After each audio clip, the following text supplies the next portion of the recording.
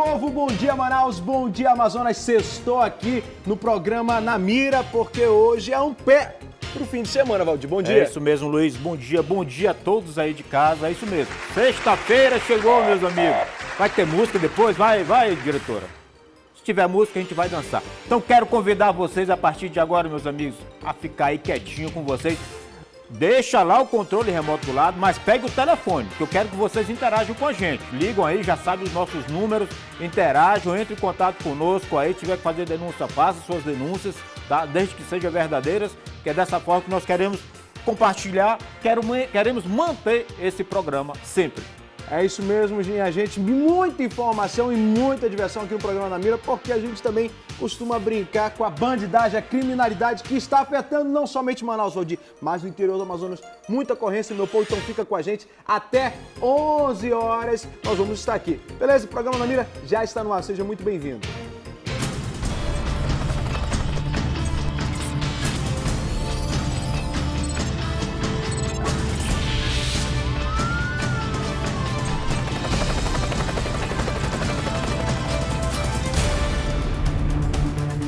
Olá, meus amigos. Então já vamos começar com uma notícia boa. Na última quarta-feira, um jovem de 16 anos foi apreendido. Ele é suspeito de matar um homem na zona leste da capital.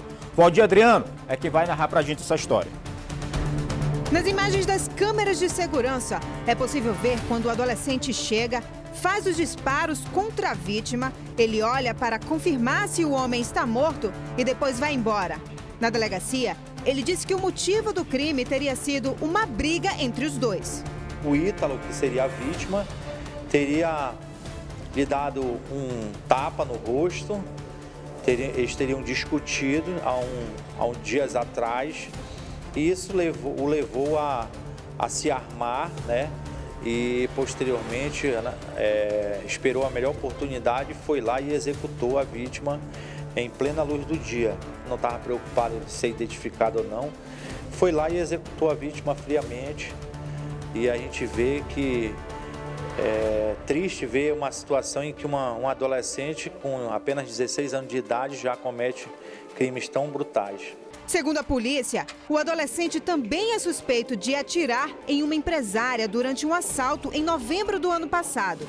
Ele teria levado 40 mil reais da vítima. O dinheiro que ele, que ele adquiriu com, com produto do roubo. Ele teria é, comprado quatro pistolas, né? Quatro ou cinco pistolas, então a gente percebe que ele tem o intuito, né? Não só de roubar, e sim depois de adquirir material bélico para posteriormente cometer novos crimes. Ele distribuiu essas armas lá no bairro aonde ele atua, né? E então, mas já fizemos várias diligências, estamos tentando localizar esses armamentos para posteriormente apreender e tirar de circulação.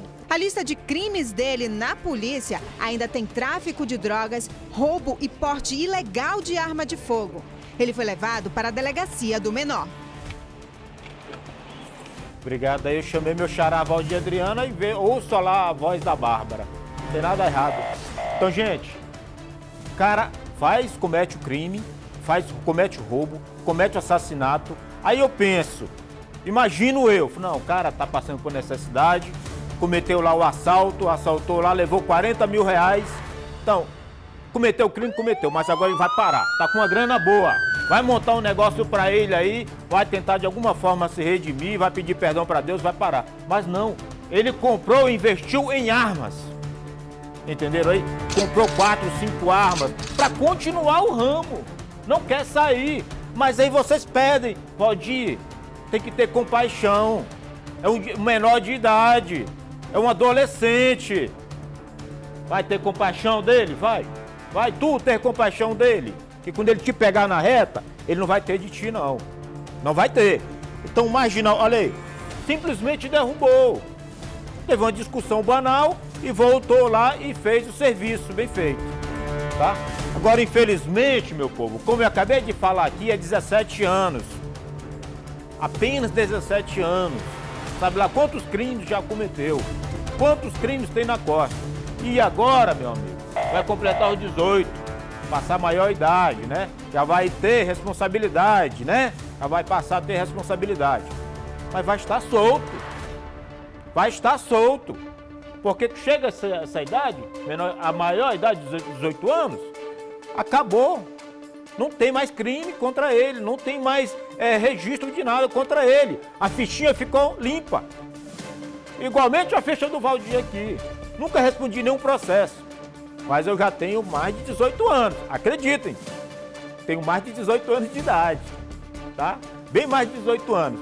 Então, Luiz, mais um bonitinho aí. Infelizmente não, não podemos mostrar o belo rosto dele, mas esperamos pelo menos até completar os 18 anos que ele permaneça atrás das grades.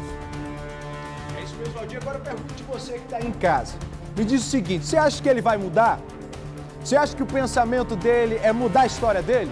É tentar a partir de agora estudar? É tentar a partir de agora fazer uma faculdade? Não mesmo.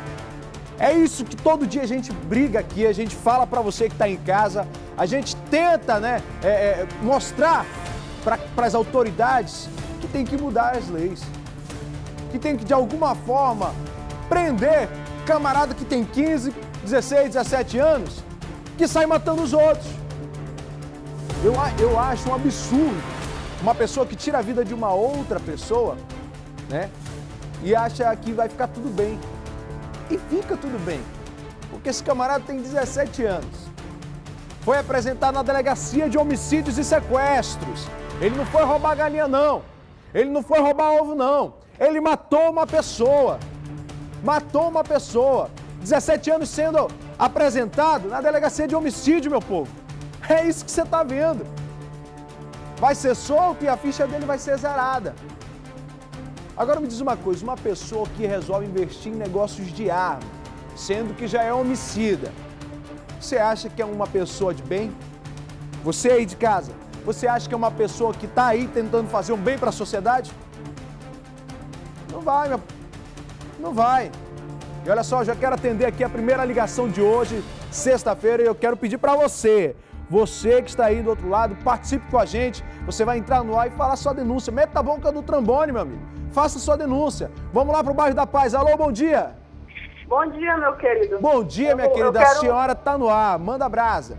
É, eu quero denunciar o seguinte, que meu padrasto saiu para trabalhar às 5 e meia da manhã, pegou 640, foi assaltado ali na Max Teixeira, próximo da Ronda, um matagal. Os caras vieram desde o T1 dentro do ônibus, eles bem vestidos, tudo com pistola, e tinha um que estava com machadinha. Super violentos, meu padrasto está em choque. Levaram tudo dele, até a mochila dele com as roupas do trabalho, não dispensaram nada, levaram tudo. Fizeram um arrastão dentro do 640 por volta das 6h40, 7 horas da manhã. Essa é a área da 17 da 17 SICOM. 17 SICOM. Olha aí, vamos manter o alerta, sabe por quê? Porque 5 e meia da manhã, meu povo, o camarada tá saindo para trabalhar. Foi abordado por criminosos. Nem em dia de chuva, nem numa sexta-feira os ladrões dão, dão descanso para a população. Agora você vê aí depoimento né, da enteada, dizendo aí que os camaradas chegaram fortemente armados, levaram tudo, zeraram todo mundo, minha gente. Pelo amor de A gente reforça aqui, Coronel Bonates né, e toda a nossa polícia do estado do Amazonas voltar a fazer a nossa operação catraca, né? Nós sabemos que estamos aí, né, em momento de operações, em continuação da Operação Pilar, mas vale a pena a gente investir, vale a pena a gente não ficar de folga, porque a bandidagem, a bandidagem não tira folga coronel, a bandidagem não tira. Nesse momento a gente percebe que precisamos olhar com mais carinho, né? Que a segurança pública precisa olhar com mais carinho para a sociedade, porque não adianta. Não adianta. A bandidagem é o seguinte: a gente prende um, nasce dez. Não sei que fruto é esse do mal que fica solto aqui no Amazonas. Agora, gente, como a bandidagem não dorme, a gente vai para a próxima notícia aqui no programa da Mira. Um homem foi preso em flagrante e outros dois foram detidos durante a quarta fase da Operação Luz na infância. Com eles, a polícia encontrou materiais com conteúdos pornográficos, minha gente, envolvendo aí as nossas crianças e adolescentes. Mexa a na tela do Namira. A quarta fase da Operação Luz na Infância começou logo nas primeiras horas da manhã aqui em Manaus e em mais 26 estados brasileiros. Durante a ação, um consultor de informática de 51 anos foi preso em flagrante na casa dele, na Avenida Torquato Tapajós, zona norte de Manaus. Na residência do homem, a polícia apreendeu notebooks, CDs, HDs e videogame que continham materiais pornográficos. Segundo informações da polícia, os suspeitos foram identificados pela Diretoria Nacional de Inteligência, que colheram informações em ambientes virtuais. No momento da chegada da polícia na casa do consultor de informática, ele estava assistindo vídeos pornográficos. No apartamento dele já foi possível o técnico averiguar a presença de uma enorme quantidade, um vasto material contendo cenas de abuso sexual infantil. Então, nesse local, ele foi dado voz de prisão e foi conduzido para cá e também foi trazido todo o, material que ele tinha, computadores, notebooks, celulares, para que a gente possa também através da perícia, é, diagnosticar se ele era protagonista daquelas cenas. Outras duas pessoas também foram detidas nas zonas sul e leste da capital. Todo o material apreendido com esses dois suspeitos vão passar por perícia para saber se há envolvimento deles nessa operação. O consultor de informática foi autuado em flagrante por armazenamento de fotografia, vídeos de sexo envolvendo crianças e adolescentes e vai passar por uma audiência de custódia. Gadaime Chapéu, vocês acham que eles são os únicos? Esse camarada aí de 50 e poucos anos e as outras duas pessoas que também foram presas? Você aí de casa, você acha que eles são os únicos que fazem isso aqui em Manaus? Fazem os são os únicos a fazerem aqui no estado do Amazonas? Essa operação vale ressaltar que aconteceu em todo o território brasileiro. Teve Força Nacional envolvida, teve toda a polícia do Brasil envolvida aí para tentar prender esses doentes. Camarada desse não é ser humano, não. Camarada desse é um animal que faz isso. Né? Fica... Eu não sei o que passa na cabeça desse povo, eu não sei o que passa na cabeça desses animais, não. Sinceramente, camarada assistir filme pornográfico envolvendo crianças e adolescentes é porque o cara não tem, não tem o um mínimo raciocínio, não tem nem mente. É um, é um animal, é um doente entendeu? Mas graças a Deus, a polícia está trabalhando. Doutora Joyce Coelho, sempre nativa, sempre operacional. Essa daqui é a delegada da. Olha aí, ó. Que estava participando, conseguiram informações e colocaram esse camarada agora para trás das grades. Agora, a única coisa que ele vai assistir, se ele quiser, é bandido fazendo coisa com bandido. Bandido fazendo coisa com bandido. Entrou na mira, meu parceiro. Você entrou na mira, ó.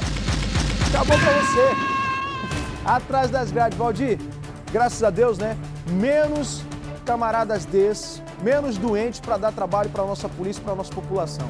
É isso mesmo, Luiz. Eu posso até destacar aqui é, que eu acho que essa operação é a mais relevante que nós podemos noticiar aqui na nossa, durante a nossa semana inteira. Porque é onde preserva as nossas crianças. Então isso é um destaque para a gente. É um destaque para a gente. Salvou salvou uma criança em um ano, para nós já é muita coisa. Então, se continuar essas operações aí durante toda a semana, e fique durante todo o mês, durante o ano inteiro, para tirar das ruas, para tirar lá do computador, da internet, esses marginais. Que eu quero reforçar também, que não só a polícia tem que trabalhar em cima disso, mas nós pais temos que ter o nosso cuidado dentro de casa e não permitir que as crianças acesse a qualquer coisa. Então tenham determinado cuidado. A internet é um mundo aí muito grande que nós não temos o conhecimento. Eu sou leigo em tudo, Valdir é leigo em tudo, principalmente a internet. Mas as crianças hoje já nascem sabendo como manter, como mexer nessa ferramenta que é a internet. Então é um mundo muito perigoso. E onde esses marginais aí sabem muito bem como conduzir lá por trás do teclado, eles são as melhores pessoas do mundo. E as crianças inocentes caem na deles. Então vamos ter nosso cuidado dentro de casa também. Agora falando, quero voltar aqui falar um pouquinho da, da, da Avenida Max Teixeira. Olha, tem um cidadão que está reclamando, mandou uma mensagem para mim, Valdir, a notícia aí, pede mais policiamento na Max Teixeira, próximo lá o a casa de show Planeta Talismã diariamente, diariamente não, semanalmente, ele tem que fazer aquele tratamento de hemodiálise. Sai quatro e meia da manhã. É um tratamento que é muito, sim, complicado se fazer. Então ele sai esse horário e é assaltado nas paradas de ônibus. Então vamos pedir mais policiamento. Já estou pedindo mais policiamento nessa área aí. Então não só ele foi assaltado, mas várias pessoas que saem desse horário para o trabalho. Tá bom? Temos. Temos alguém no, tá na ligação? Tá da compensa. Olá, alô, bom dia. Bom dia. Falo com quem? Com a Lúcia. Pois não, Lúcia, estou lhe ouvindo. Meu amor, eu queria falar em prol da- de todas as mães sobre o que você acabou de falar em relação a- aos cuidados na internet. Infelizmente hoje não é tem que ser só responsabilidade da polícia, realmente tem que ser responsabilidade de todo mundo. Hoje em dia, infelizmente, nós sabemos que tem mães, pais, pessoas responsáveis que trabalham, mas a gente não tem que abrir mão das nossas crianças. É um absurdo criança pequena ter acesso a tantas coisas e aquela pessoa não está ali verificando o que está sendo feito, o que está sendo visto pela criança. Poxa, a educação começa de casa, a educação começa do, do, do seio familiar. E hoje em dia, infelizmente, as nossas crianças são vulneráveis por falta desse acolhimento da família. Muito obrigado, Era- Lúcia. Muito obrigado Ah. pela sua participação. Olha, eu, eu confesso, eu por ter que responder inúmeras mensagens no telefone, WhatsApp, eh, no próprio Face, meio que eu estou com a minha família, eu fico um pouco desatento. Mas nós temos também que nos policiar, para dar exemplos também para os nossos filhos. A minha filha chama a minha atenção por isso. Porque eu, tenho- eu limito ela, o horário dela usar o telefone dela, aí ela fala, o senhor pode, né, pai?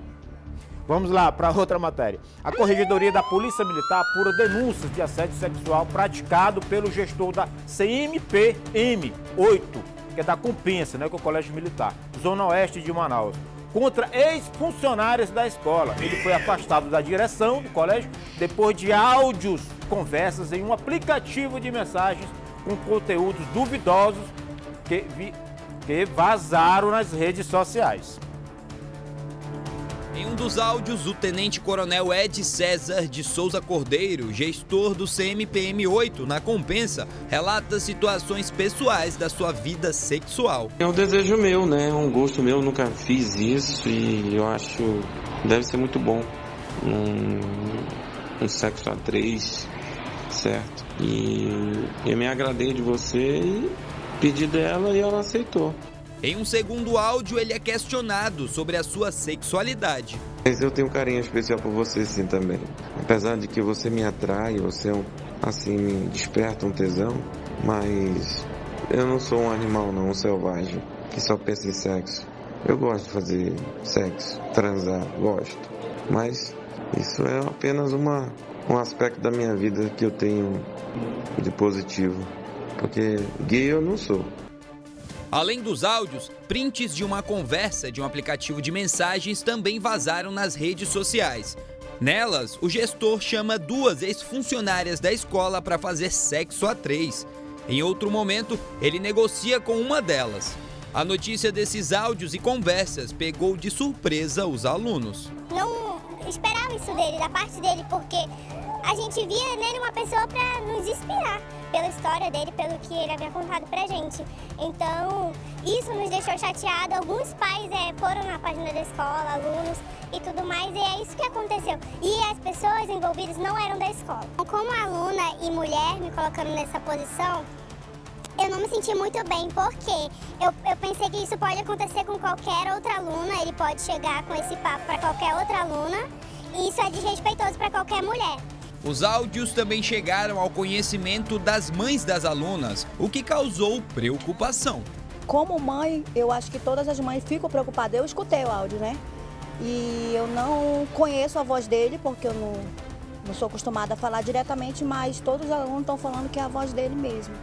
A Polícia Militar do Estado do Amazonas informou por meio de nota que já está ciente dos áudios onde supostamente o diretor dessa escola da Polícia Militar está envolvido em atitudes inadequadas. Um documento enviado pela Polícia Militar comprova que o gestor foi afastado das suas funções nesta quarta-feira e o caso deve ser investigado pela Corregedoria da PM. Mas até onde o envolvimento desse diretor com as ex-funcionárias da escola pode ser uma relação normal ou assédio?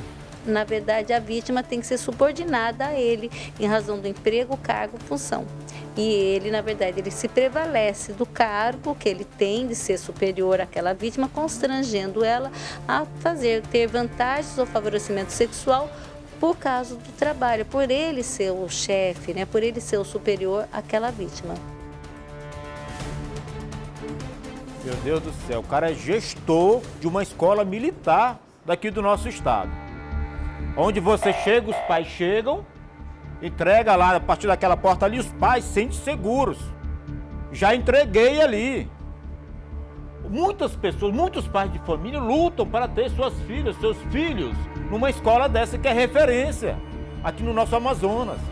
E fora também, por todo o Brasil. Nós temos boas referências nas nossas escolas militares. Mas não podemos deixar que um gestor desse apague tudo isso. Não podemos. Mas pedimos também a Secretaria de Segurança Pública, tá? a Corregedoria aí da Polícia Militar e a Corregedoria Geral que apura esse caso. E saber também se tem alguma, é, alguma aluna aí que foi vítima dele. Não quero aqui acusar ninguém não. A delegada expôs aí a opinião dela, expôs a situação, que não era mais funcionárias, as, as mulheres lá já eram ex-funcionárias. Então vamos ver de que forma se enquadra o crime aí.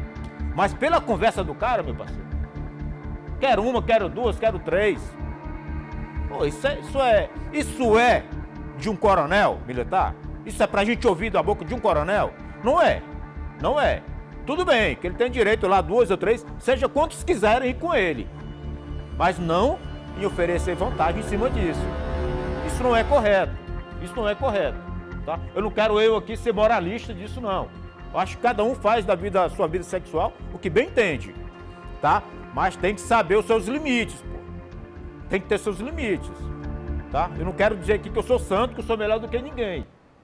Mas nesse caso aqui, ele é um gestor de uma escola. Então ele tem que ter sim seus limites. Então, infelizmente, pedimos aí a apuração desse caso realmente, se tem alguma vítima, se foi realmente concluído algo, algo a mais do que nós noticiamos aqui. Luiz, é, infelizmente aconteceu isso, nós mostramos aqui na mira, que é a nossa obrigação. Vamos esperar agora que a polícia apure, que realmente esclareça esses fatos aí. É isso mesmo, Valdir. Agora fico pensando na família desse camarada, né? A fam... Como a família recebeu essa denúncia? É, de repente você pensar, pô, não sei se ele tem família, não sei se ele é, é casado, se ele tem filho, mas imagine você, né? Pô, meu pai é, é gestor de uma escola né, de ensino ali militar, onde aprende ali a pessoa a ter um, um caráter né, verdadeiro, um caráter íntegro, e de repente o gestor age dessa forma, né? Age desta forma. Você percebe que até a, a aluna ficou com medo, ficou pensando assim, meu Deus, mas como é que a gente passa por essa situação? É, no gestor, alguém que a gente tinha que confiar, e de repente acontece isso. É, meu povo. 10h42, meu povo, muita notícia, muita informação aqui para você. Quero agradecer sua audiência, você que nos assiste pelo Facebook, você que está nos assistindo pelo canal 10.1 na nossa nova TV em Tempo. Programa na mira, audiência total. Então faz o seguinte, liga pra gente, faz sua denúncia, fala aquilo que está acontecendo na sua comunidade, na sua rua, no seu bairro, na sua cidade, que a gente joga aqui no ar e você vai ficar sabendo tudinho, beleza? Próxima notícia, a Polícia Civil apresentou agora pela manhã três pessoas da mesma família, sabe o que? Envolvida em um homicídio. É, a família se reunia, bora matar alguém e matava. Mataram um adolescente de 17 anos, minha gente. O crime ocorreu no dia 11 de março deste ano, no loteamento Águas Claras, no bairro Novo Aleixo. A Meixa Pema foi lá, acompanhou tudo e acompanhou também a apresentação desses camaradas. Na tela do Namira, agora. Telefone, minha diretora. Eita, minha gente, olha aqui, minha gente, eu não vi o TP. Eu não vi o TP, Chicão, eu não vi o TP, Tony. Olha só, nós vamos falar por telefone aqui, né? Que é a Mei Chapiama, que acompanhou essa, essa coletiva e vai nos passar as informações. Alô, Mei! Oi, oi, Luiz, Valdir, bom dia. Bom dia a todos que estão acompanhando o programa na Mira. Estou aqui na delegacia especializada em homicídios e sequestros na Zona Leste de Manaus. Muita chuva aqui na nossa cidade, mas vamos falar no caso dessa apresentação, envolve três pessoas, que é o Douglas Jonathan, de 24 anos, além de Marcos Santos, e o Maurício dos Santos, de 37 anos, que é esposo da Leidimar. Eles são suspeitos de assassinar e mutilar o adolescente 17 anos, identificado como Ismael Calixto. O crime aconteceu no dia 11 de março, lá no bairro Águas Claras, na zona norte de Manaus. Segundo informações da polícia, no dia do crime, a vítima teria tido um desentendimento com o Maurício, esposo da Lei de Mar. O adolescente estava bebendo em um bar quando eles brigaram. O que, que aconteceu? O Maurício chamou mais três sobrinhos para beberem junto com ele na casa dele. Depois que o adolescente saiu desse bar, ele passou em frente à residência do Maurício. Foi quando o Maurício e os sobrinhos passaram a agredir esse adolescente. Eles achavam, depois das agressões, que o adolescente estava morto. Só que botaram o adolescente dentro do carro e quando eles pretendiam jogar o corpo, achando que o adolescente já estava morto, o adolescente teve uma atitude de tentar fugir de dentro do veículo. Só que ele foi alcançado e arrastado pelas ruas do bairro Águas Claras. Inclusive, ele teve a mão decepada é, por uma peça dada de um suspeito. O que, que aconteceu? A motivação desse crime é o seguinte: a vítima já teria tido vários desentendimentos com o Maurício e com a de Mar. Eles são marido e mulher e tem uma filha de 15 anos de idade, uma adolescente de 15 anos, que estaria tendo um relacionamento amoroso com o Ismael Castilho, que é a vítima. Então, no caso, tanto Maurício quanto a Lei de Mar não queriam esse relacionamento. Foi praticamente isso a motivação do crime e eles praticamente armaram, segundo a polícia. Foi tudo arquitetado justamente para matar esse adolescente que, segundo a polícia, tinha envolvimento com o tráfico de drogas. E esses três suspeitos que foram presos também têm envolvimento com o tráfico de drogas ali na área do bairro Águas Claras. Mas outras duas pessoas participaram desse crime e estão foragidas e estão sendo procuradas pela polícia. Luiz, mais detalhes desse caso a gente traz daqui a pouco no programa agora e mais tarde no Jornal em Tempo às 6 h 15 da noite. Luiz. Emir Chapeão, obrigado pelas informações. Olha só, meu povo, essa matéria completa eu não vou poder trazer amanhã porque dia de sábado não tem na mira. Né? Mas você vai acompanhar aqui em seguida na nossa programação, um programa agora que vai estar tá com o VT fechado mostrando sobre tudo isso e também no Jornal em Tempo às 6h20 da tarde, minha gente. Agora, que história enrolada, hein? Que história enrolada e um crime bárbaro, né? Camarada não satisfeito, percebeu que o rapaz ali, o jovem, não estava morto, ainda arrastou o corpo do cara por todo o bairro. Imagina a crueldade desses camaradas. Agora deixa eu dizer uma coisa para você. Uma coisa interessante para você que está em casa. Sempre tendo participação com o tráfico de drogas. Então, todos os dias nós avisamos aqui você, jovem, 15, 16, 17 anos, para não se envolver nessa situação. Porque é um caminho que não tem volta, minha gente. É um caminho que não tem volta. Entendeu? Quando você entra no mundo da criminalidade, quando você entra para querer vender droga, para querer ganhar dinheiro rápido, é uma coisa que vai rápida e que pode terminar rápida na sua vida. Quando você vai preso ou quando você vai morto. Valdir, um crime cruel. Os camaradas arrastaram o corpo do jovem né? e não, não satisfeitos né, com o que tinham feito já, tinham espancado o cara e acabou que a pessoa veio a óbito, mas agora menos três para incomodar a sociedade amazonense. Verdade, Luiz. Como você bem frisou aí, todos com envolvimento no tráfico de droga. Mas como você já conhece o Valdir, todos estão envolvidos, então que resolvam para lá. Um já pagou, outros estão atrás das grades, vai por aí vai. Então, só deixo o meu recado. Não se envolvam com isso. Não se envolvam, tá? E um jovem de 18 anos foi preso mais, com mais de 700 trouxinhas de drogas no Alvorada. A repórter Beixa Chapiama traz esses detalhes pra gente. Põe na mira. A prisão desse jovem aconteceu nesta quinta-feira por volta de 11 horas da noite. Ele foi identificado como Jorge Felipe Veiga da Silva, de 18 anos, e com ele a polícia apreendeu 694 trouxinhas de óxido, 10 trouxinhas de maconha, além de porções de cocaína e uma balança de precisão. Segundo a polícia, eles receberam uma denúncia de que o Jorge Felipe estaria comercializando drogas ali na rua São Francisco, no bairro do Alvorada, zona centro-oeste de Manaus, que é o bairro onde ele mora, quando os policiais montaram uma campana bem próximo à residência dele para verificar se a denúncia era verdadeira. Os policiais ficaram em via pública ali mesmo, aguardando Jorge Felipe sair da casa dele. No momento em que ele saía da residência, ele foi abordado pelos policiais que encontraram com ele de início 20 trouxinhas de maconha. Em, durante essa abordagem, o Jorge Felipe disse que o restante de todo o material estaria na residência dele, também na rua São Francisco, no bairro do Alvorada, zona centro-oeste de Manaus. Foi quando os policiais foram até a casa dele e encontraram todo esse material que totalizou mais de 700 trouxinhas de drogas. O Jorge Felipe foi encaminhado para o décimo DIP, onde ele foi indiciado pelo crime de tráfico de drogas e associação para o tráfico. Agora ele está preso e está à disposição da justiça. Eu volto com você aí no estúdio. Obrigado, Bey. Volta as imagens lá da droga, por favor, depois aí, tá? Quero destacar ali a balança, quero chamar a atenção pro, para o povo daí de casa sobre a balancinha lá. É um item indispensável nesse mundo do tráfico de drogas. Cara, mais de 700. Eu não sou traficante, eu sou usuário. Eu sou usuário. Eu sou usuário. Usuário eu comprei para mim usar. Então tem mais de 700. 365 dias ao ano, dois anos, eu comprei logo para dois anos. Vou usar aqui durante dois anos, tá? E ressaltando aqui, volta aqui, essa aqui, senhora mãe, senhor pai, quando vê um objeto desse na sua casa, uma precisão, uma balança de precisão, desconfie. Chame lá seu filho, chama sua filha e converse com ele o porquê, o porquê que essa balança está aqui em casa ou fale logo, então vou chamar a polícia. E se a polícia fizer o exame técnico, ela já vai apurar ali se teve algum vestígio de drogas. Então, é uma dica do Valdir aqui, se identificar tá. Eu quero ressaltar também, meus amigos, que ele ainda não passou pela audiência de soltódia. Porque se ele chegar com essa mesma carinha aí na frente do juiz, lamentando, e dizer que é usuário, ele pode ser solto ele pode ser solto.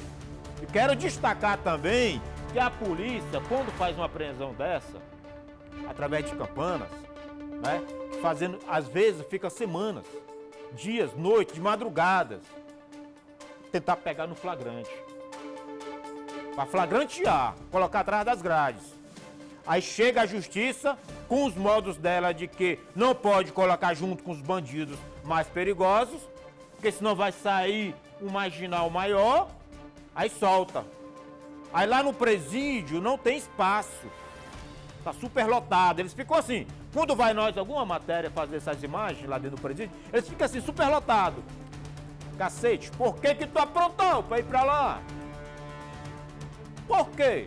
Se tu tivesse trabalhando, tu não teria ido. Se, mas um trabalho digno, não esse tipo de trabalho não. Tá? Isso não é trabalho. Quando eu destaco isso, quando o Valdir fala muito aqui, é porque isso aqui, meu amigo, vai acabar nas mãos das nossas crianças. Vai acabar na mão dos nossos adolescentes.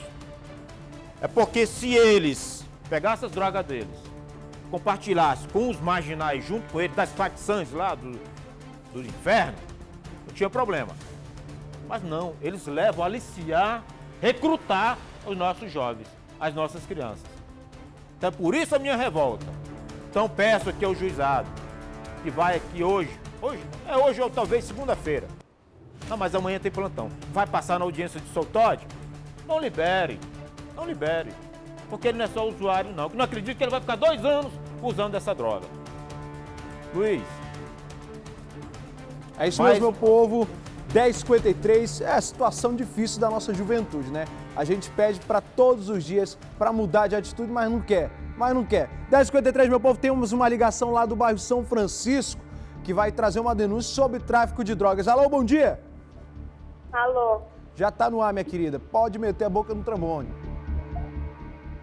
Bom, eu gostaria de fazer uma denúncia, é porque assim, tem um bar aqui no bairro de São Francisco que passa a noite, o dia é de domingo a domingo. Então, na frente do bar, ficam os moleques lá vendendo droga. É o seguinte, a gente quer dormir não consegue.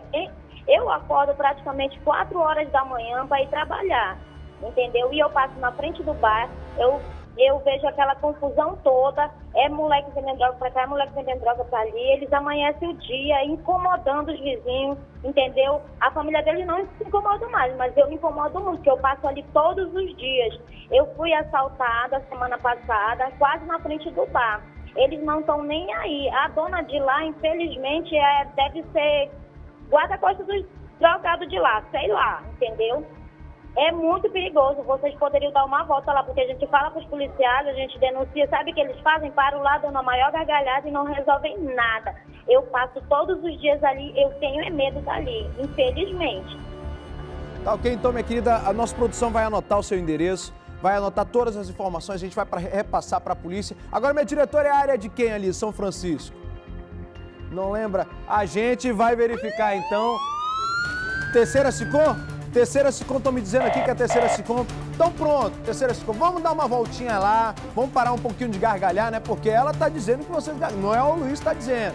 Mas ela disse que a polícia é gargalha e não vai resolver o problema.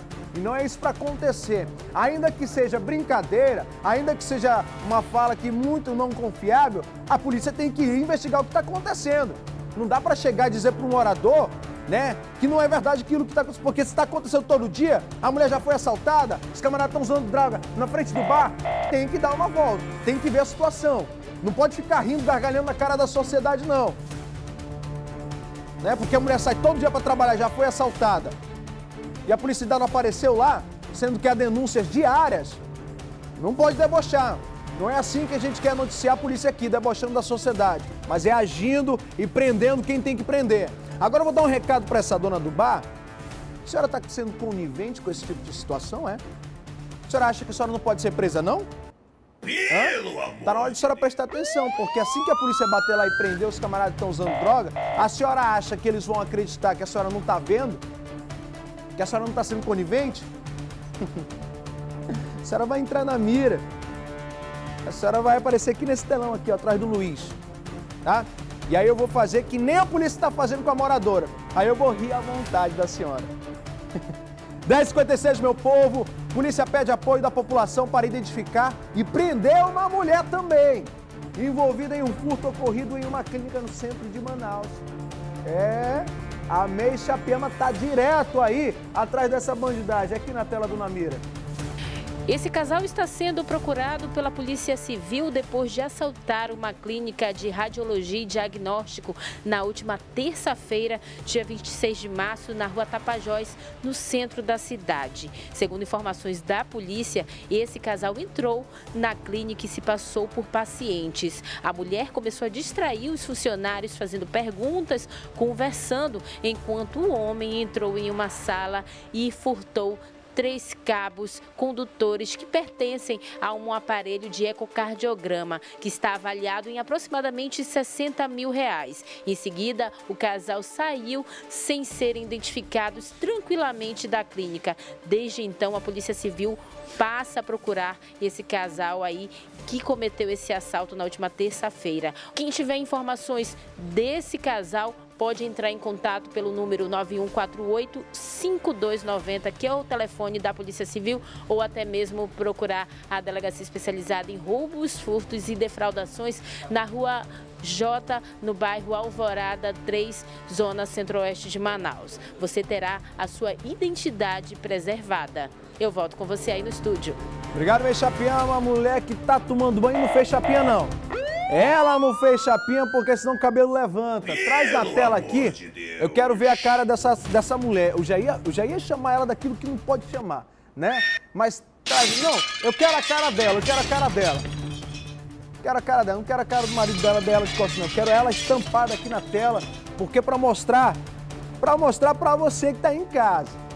Mulherada briga por espaço em tudo quanto é canto, né? Mas agora até na criminalidade a mulher quer ter o espaço dela. Olha aqui Pilantra. a cara dessa mulher. É, ai, trabalhar ela não quer. Né? Estudar ela não quer. Ela já tem uma certa idade, tenho certeza que ela tem filho. Criar os filhos não quer, né, minha senhora? Criar os filhos não quer. Agora, brincar, né, de assaltar, até porque eu trago, eu trago uma notícia pra você. Eu já trabalhei com negócio de saúde. Um aparelho de ecocardiograma, minha gente, hum, dói no bolso. Dói no bolso de uma clínica mais de 60 mil reais, minha gente. É mais de 60 mil reais. Aí a mulher pega, nós demos notícias ontem de um camarada que estava internado numa unidade hospitalar, o camarada saiu e foi assaltar. E foi preso, né? Agora, se essa mulher tá distraindo o pessoal, se ela, se ela enche a tela, não me, não me traz não, enche a tela dessa, dessa mulher aí. Pilantra. Agora perceba que se ela já tem todo o, né, já sabe como fazer o movimento para enganar a, os, os pacientes, não, os funcionários, esse não é o tipo de primeiro assalto não. Ela não está estreando não, isso não é estreia dela não. Essa mulher aqui já joga nesse time faz tempo, já joga no time da criminalidade faz tempo. Distraiu todos os funcionários, né? Aí o parceiro dela, o comparsa dela, lá com aquela máscara ali para não se contaminar com a criminalidade dela, né? Porque ele já é o fruto criminal, né? E aí foi lá e simplesmente roubou, levou. Aí percebe, traz o vídeo aí que ninguém percebeu, né? Quem estava ali na recepção não percebeu. Eles saem tranquilos, tranquilos, como se não tivesse devendo nada a ninguém. Agora a única coisa que ela vai dever, né? é atenção para a família dela, porque ela vai parar atrás das grades. Ela vai parar atrás das grades, porque quando aparece no programa na mira, minha gente, quando aparece no programa na mira, acabou. É xadrez, minha filha. É xadrez. E ainda vai ter que pagar. Vendeu já? Já vendeu o instrumento? Vai ter que pagar. Vai ter que pagar. A casa caiu pra Agora, ti, minha gente. Ô, oh, minha juíza. Minha juíza. Se prender a mulher, não libera não. Não libere não. Deixa ela atrás das grades, porque mulher como essa aqui não merece estar na rua não. Porque senão vai para outra clínica, e outra clínica, e outra clínica. Vai montar uma organização criminosa, fazer que nem aquele jovem lá que foi preso com um monte. Aí acabou para a sociedade. Acabou para a sociedade. É, minha gente. Agora, diga, minha diretora.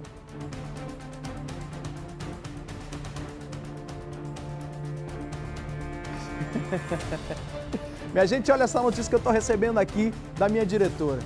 As audiências de custódia, né, que o Valdir fica louco quando fala em audiência de custódia, a partir de agora vão ser feitas por videochamadas.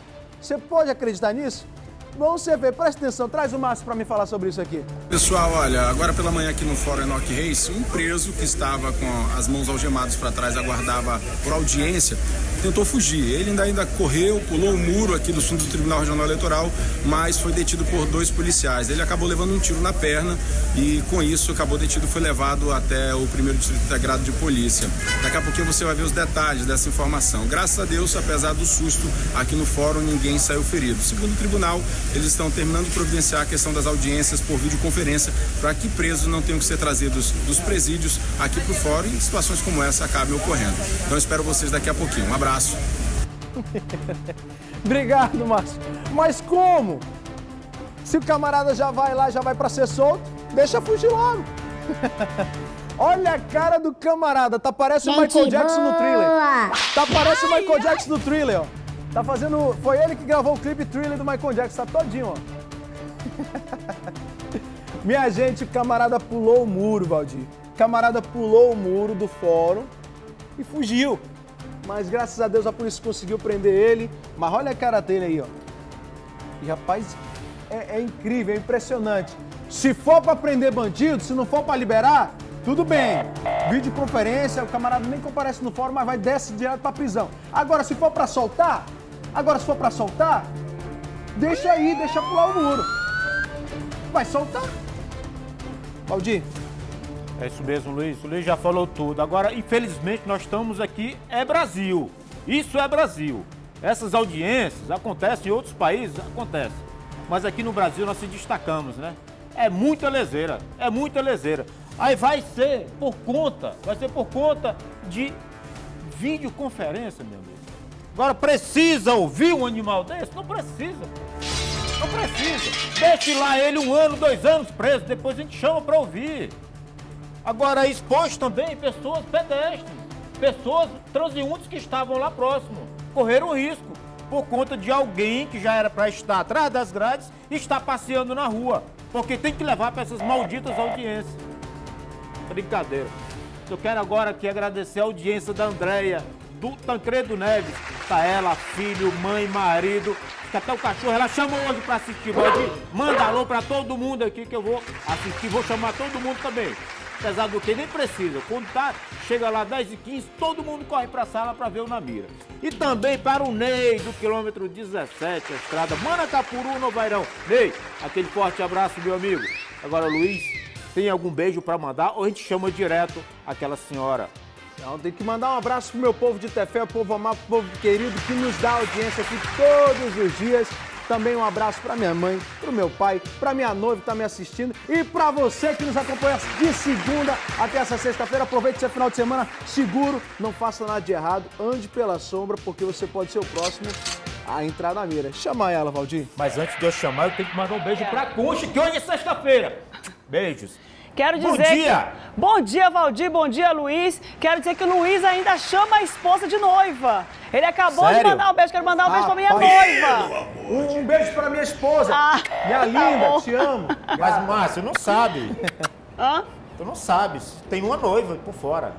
É a Será noiva dele, é é a mulher dele mesmo, entendeu? Minha mulher, tem outra É noiva, é mulher, não. namorada, não, mas se ele é estiver se tudo. referindo a outra pessoa. Não, Não, é a mulher não, dele que só É que só a tá mulher dele? Tá É nervoso, só- tá só nervoso. minha mulher, Tá só minha nervoso, tá nervoso, Valdir, tá O nervoso. Luiz segue meus passos, é só uma.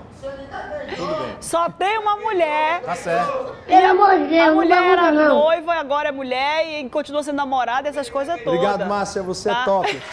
Nesse momento, nesse momento, o espírito do gago não aparece, né? Não, é o espírito do silêncio. Quem é o espírito do gago? Quem é o espírito do gago? Bom trabalho, Tchau, minha querida. meninos. Tchau. Até segunda-feira.